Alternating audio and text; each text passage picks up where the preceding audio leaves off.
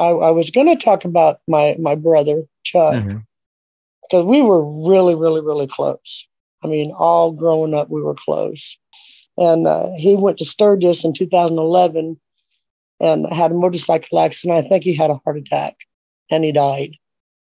And uh, we were constantly would get back to the the thing of you know well you know if I die I'll get up with you and or you know there was no haunting or anything but he always said that he would he would let me know.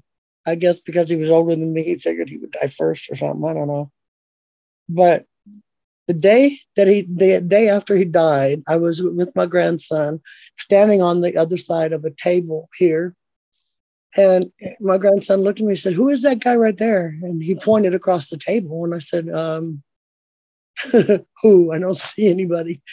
And he said that guy right there there's a funny face. And i said well it was a scary face. And i said well what's scary about his face? What kind of face is he making?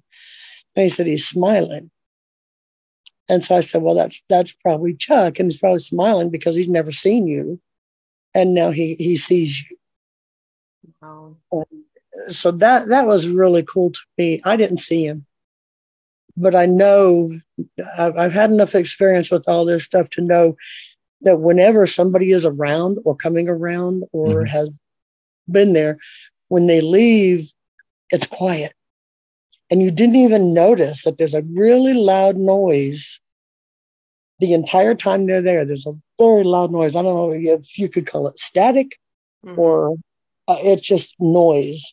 But when they're gone, it's quiet.